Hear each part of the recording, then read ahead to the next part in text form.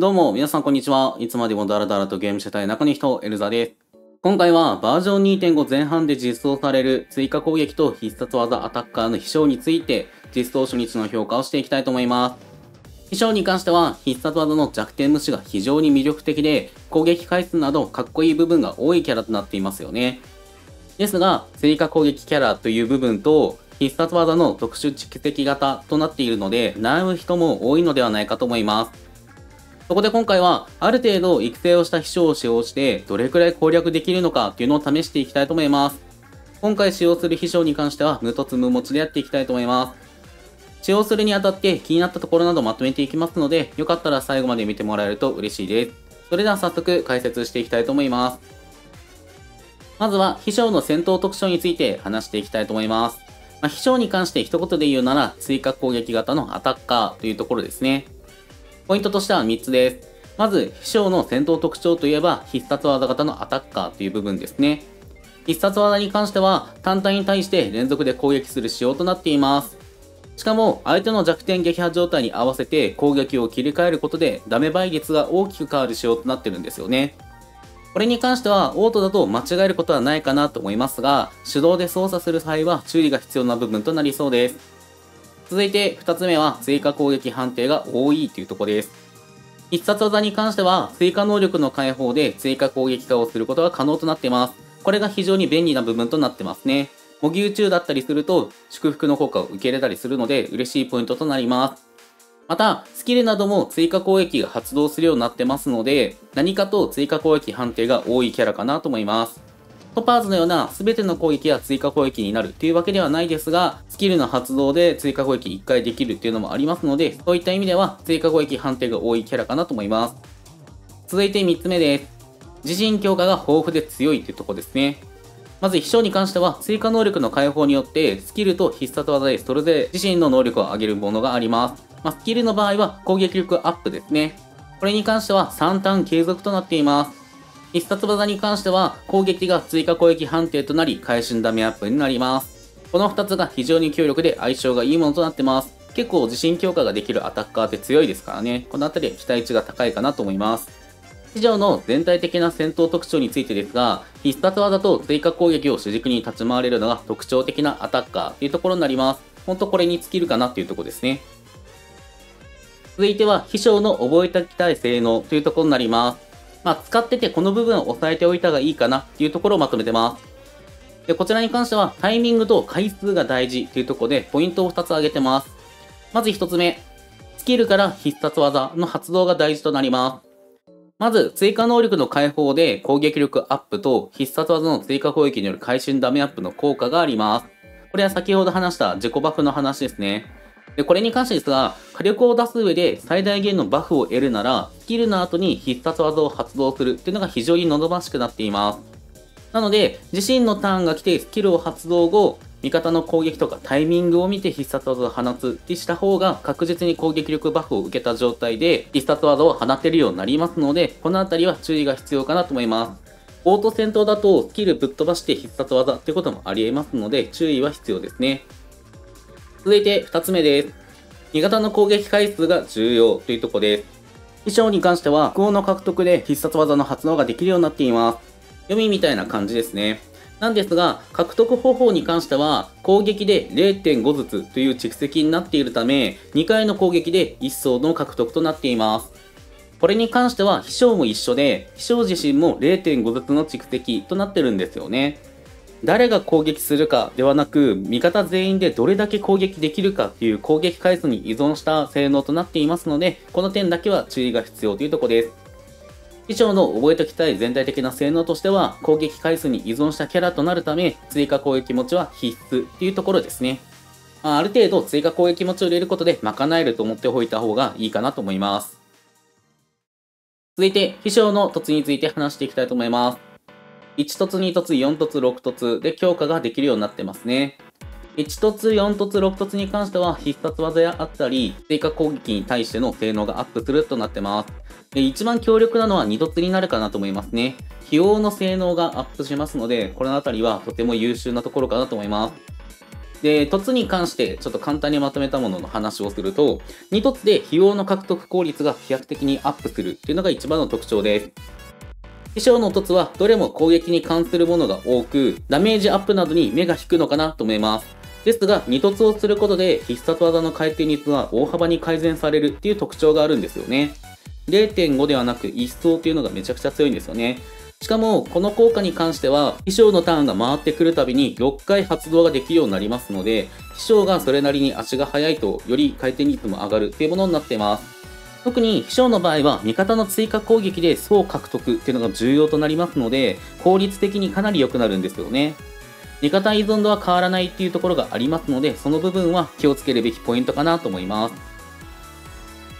続いて公園水の候補についてです公園水に関しては上から順ですね。結構星5の公園水が多くなってます。まず一番のおすすめはモチーフ公園水ですね。我がく遵守の道です。装備するだけで会心率がアップし、追加攻撃をすることで、必殺技ダメが敵の防御力を27%無視するようになっています。2層蓄積ができるため、追加攻撃後に必殺技の火力をさらに伸ばせるようになってますね。このあたりはさすが持ち公園水だなと思いますね。続いていいのが悩んでバラってです。こちらは装備するだけで会心率がアップしますが、さらに追加攻撃の余ダメも大幅にアップしてくれます。必殺技の追加能力解放で追加攻撃判定となりますので、必殺技自体とも非常に相性がいいっていうのがありますね。続いては、純正なる C の洗礼です。デバフキャラを編成に入れるのであれば相性のいい公園水というところですね。なので、トパーズやアベンチュリオンを入れるなら装備しても相性がいい公園水と言えます。必殺技発動でよだめと防御無視ができるのも相性がいいポイントと言えますね。これは編成によっては2番目に来るぐらい相性がいいものになるかと思います。その他の公演水です。正解巡行や4件自体もおすすめっていうとこですね。必殺技による敵への連続攻撃や HP の割合などを考えると、こちらの2つは必殺技と相性がいいものとなっています。会心率が足りないなら正解順行、会心率が足りているようであれば論剣といった感じで使い分けるといいかなと思います。続いて、異物、オーナメント、ステータスに関してです。まずは遺物についてですが、風雲を薙ぎ払う勇烈が相性が良くなっています。こちらのポイントとしては、装備するだけで会心率がアップする上に、追加攻撃を行うと会心ダメージが36%もアップするようになっています。追加攻撃判定の必殺技と非常に相性がいい遺物セットというところになるんですよね。続いて、オーナメントについてです。こちらに関しては王朝ですね。味方の追加攻撃で専用バフを獲得し、一層ごとに追加与ダメが5%アップするようになってます。最大まで行くと会心ダメが25%アップするようになっていますので、追加攻撃キャラと合わせることが多い秘書と相性がいいところとなります。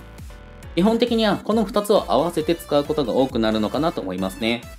では、メインステータスに関してです。メインステータスに関しては、銅は会心率、会心ダメ。靴は速度。玉は風ダメ。縄は攻撃力アップとなります。章に関しては、会心ダメを盛れるものが多いので、会心率優先でもいいのかなっていうところですね。続いてサブステータスです。会心率、会心ダメ、速度、攻撃となります。速度と攻撃は同じぐらいか攻撃優先にしても全然いいのかなと思いますね。このあたりは追加攻撃の頻度次第かなっていうとこです。それでは最後、エンドコンテンツのためのステータスです。これに関しては自身がクリアした時のステータスを参考にしてます。まず HP に関してですが、3000ぐらいはあった方がいいかなっていうとこですね。まあ防御力に関しても900から1000近くはあった方が、耐久面においては良かったかなと思います。HP 低すぎてもね、そこまで良くないんで、まあ、3000ぐらい目指したいというところですね。続いて攻撃力に関しては2700です。会心率に関しては80%以上、会心ダメは130%以上となります。とにかく会心ダメージは追加能力や装備で確保ができるようになっています。なので、会心率を優先的に上げるようにしていった方が育成としてはしやすいかなっていうところですね。なので、胴体を会心率か会心ダメにするかによって、育成の難易度っていうか、キャラの強さっていうのが大きく変わってくるかなと思います。それでは、編成について話していきたいと思います。今回3つの紹介ですが、ほぼほぼ似たような編成となっています。まず1つ目、追加攻撃特化の理想編成となります。メンバーとしては、秘書、アベンチュリン、ロビン、トパーとなります。結構高級なパーティーですね。まあ、追加攻撃を惜しみなく使える編成というところになります。この編成に関しては、ロビンのバフと最高度を最大限に活かせるっていうのがいいですね。追加攻撃の能力アップしますので、ロビンはやっぱり外せないかなっていうところです。また、全員シナジー効果があるっていうのも嬉しいところです。先ほど話したロビンのバフもそうですが、アベンチリンは味方の追加攻撃に反応して蓄積ができますし、トパーズも味方の追加攻撃で株の行動順がアップするっていう恩恵があります。攻撃すれば攻撃するほど全員の攻撃回数もさらに増えるっていうところなので、今のところこちらが最適な編成かなっていうところです。続いては、ロビン、トパーズなしの構成となります。メンバーは、秘書、アベンチュリン、グローニャ、なのかとなります。